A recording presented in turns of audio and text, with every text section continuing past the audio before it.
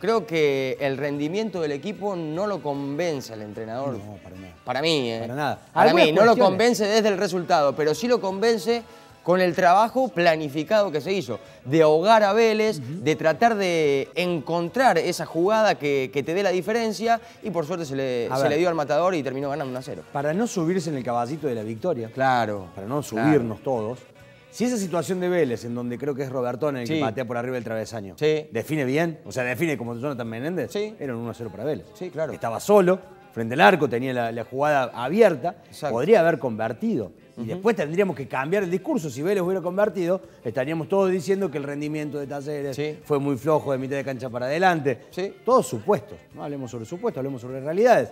La realidad es que a Talleres no le convirtieron, logró ser inteligente y convertir. Sí, Próximo sábado jugará frente a Rosario Central. 15-30. Ahí tendrá la, la chance de volver a tratar de seguir mejorando. De eso Exacto. se trata. ¿Y sí? Y ahí empezar a caminar, un torneo que va a ser largo. Claramente Talleres tendrá que mejorar.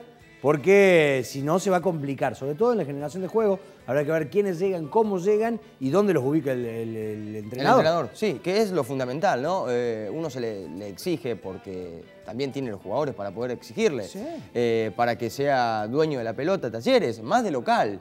¿no? Eh, yo creo que de visitante uno puede trabajar en base al rival, pero de local, un talleres protagonista con su gente, me imagino que va a tener que hacerse cargo y dueño de los Lo partidos. cierto es que me parece que tiene variantes la, adelante. O sea, nosotros Sí, lo dijimos muchas variantes. Tiene muchas variantes adelante. Entonces, y no variantes del nombre por nombre, porque Fragapane te puede no andar bien, y si ingresa Nahuel Bustos, ingresa a hacer otro trabajo que, Sí. que hace Fragapane. Porque Dairo Moreno te puede andar flojo, como lo fue en el partido de ayer, y te entra Junior Arias a hacer otro tipo de trabajo, por más que los dos sean centro delanteros. Eso está claro, entonces Sí. puede variar desde ahí. Lo que sí falta es la mitad de la cancha. Así que veremos Muy tirado atrás Dairo. Y lo que pasa es que cuando uno tiene juego, Dairo siempre se va Sí. a tirar atrás. Cuando no llega a la pelota, siempre se va a tirar atrás. Eh, habrá que ver en esas tiradas atrás si le, le sirve para tirar el pelotazo para Fragapane o para Menéndez, que arrancan de muy atrás, porque claramente un 4-5-1, llegar. Sí. que se Sí, transforma sí. en 4-3-3. 4-5-1, Pero totalmente. es- Pero, a ver, el sistema moderno y el fútbol moderno Sí. es así. O sea, este 4-3-3 mentiroso, que no, que no es el anterior, no es, a ver, el del 2002 con el Burro Ortega, o en realidad sí, ya hay Bielsa.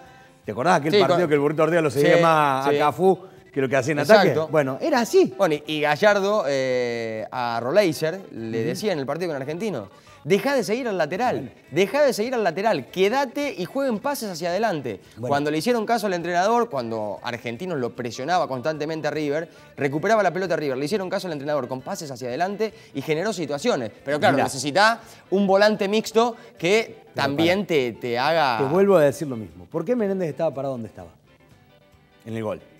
Menéndez dejó de correr el lateral. Claro. Menéndez en un momento dijo, no retrocedo más yo, y quedó en la mitad me de cancha. quedo yo a, a ver qué puedo hacer Sí, bajó en la ataque". mitad de cancha, hay... Pero ahí es el lugar donde tenés que estar, porque, Sí. porque Vélez estaba atacando en, en- en el área grande de. Talleres, con toda la gente que había Exacto. sumado. Y Junior un poquito más retrasado en la medialuna de- del semicírculo, del, del área. De eso se Del trata. área, de la mitad de cancha. Veremos cómo, cómo sigue adelante.